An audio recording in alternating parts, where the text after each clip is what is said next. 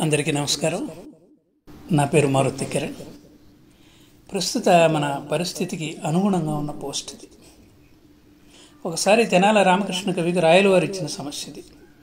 కుంజర యూధంబు దోమ కుత్తుకు చూచాను అంటే ఏనుగుల గుంపు వెళ్ళి దోమ గొంతులో ఇరుక్కున్నదని అర్థం. ఈ పద్యపాదాన్ని పూర్తి చేయమన్నారు రాయలు వారు. అందరూ ఆసక్తిగా చూస్తున్నారు రామకృష్ణుడు దాన్ని ఎలా పరిష్కరిస్తాడోనని. ఆయన చిత్రత మనందరికీ తెలిసిందే కదా.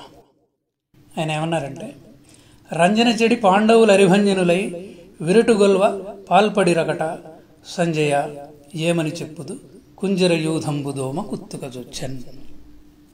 ఈ పద్యభావం ఏంటంటే మహాభారతంలో బలవంతులైన పాండవులు కౌరవులతో జూదల్లో ఓడిపోయి ఒక చిన్న సామంతరాజు అయిన విరాట్రాజు కొలువులో చేరి అజ్ఞాతవాసంతో పనిచేయవలసి వచ్చింది ఓ రాజా ఇది ఏనుగుల గుంపు వెళ్ళి దోమ గొంతులో కూర్చోవడం కాక మరేమిటి అని ఆ సమస్యను పూరించారట. సభలో ఎవ్వరికీ నోట మాట రాలేదు. రాయలవారు స్వయంగా రామకృష్ణ కవి గారిని ఆలింగనం చేసుకుని ప్రశంసించారట. గుంజర యూధం దోమ కుత్తుకదొచ్చెన్ ఈ సమస్యనే మేము ఇస్తున్నాం పూరించండి రామకృష్ణయ్య గారు.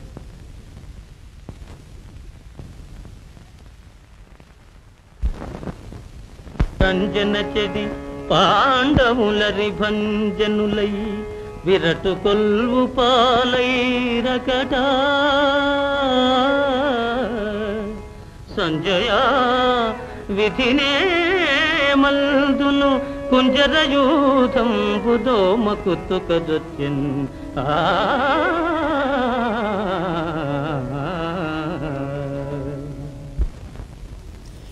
ఈ పద్యభావానికి అనుగుణంగా నేటి పరిస్థితి ఉంది.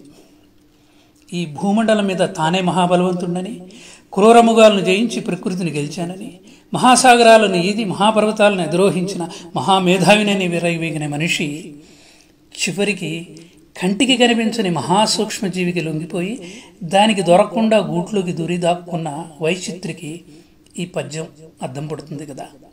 అందుకే మహాబలాఢ్యుని అనుకున్న మనిషిని ఇప్పుడు ప్రకృతి పరికించి చూస్తోంది. పరిహాసం చేస్తోంది.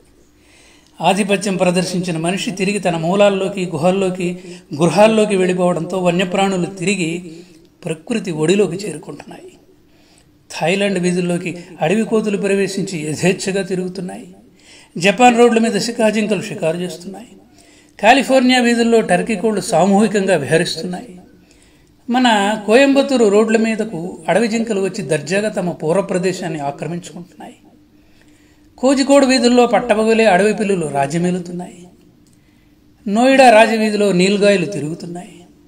బెంగళూరు బస్టాండ్ ఇప్పుడు పావురాల ప్రపంచం అయిపోయింది తిరుమల ఘాట్ రోడ్లు మాడవీధులు జింకలకు ఆవాసమయ్యాయి. ఇక్కడ అక్కడ అని లేదు.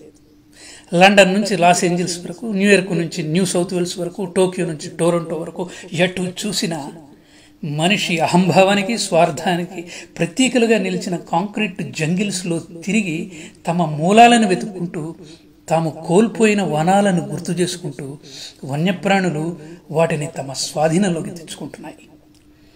అర్ధనగ్న పూర్తి నగ్న దృశ్యాలతో చెలరేగి బీరు సీసాలు వైన్ గ్లాసుల చప్పుళ్ళతో అర్థం లేని వీరంగాల రణగణ ధ్వనులతో నిన్నటిదాకా మారుమోగిన సాగర తీరాలు ప్రేమికుల దినోత్సవాలతో ఫ్లయింగ్ కిసులతో హాట్ హగ్గులతో బెత్తరబోయిన ఐఫిల్ టవర్లు ఉద్యమాలతో దద్దరిల్లిన థియన్మాన్ స్క్వేర్లు కార్నివాల్స్తో బిత్తరపోయిన సాల్విడార్లు ఇప్పుడు నిర్మానుషమైపోయాయి ఇప్పుడు అక్కడ అడవి తల్లి ముద్దుబిడ్డలు కపట మెరుగుని మూగజీవాలు ఆటలాడుకుంటున్నాయి.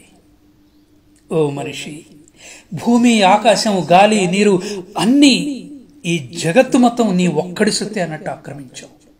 అడవుల్లోని జంతువుల నుంచి ఆకాశ మార్గాన సాగిపోయే స్వేచ్ఛ విహంగాల నుంచి మహాసాగరంలోని తిమింగలాల వరకు అన్నింటినీ జయించావు.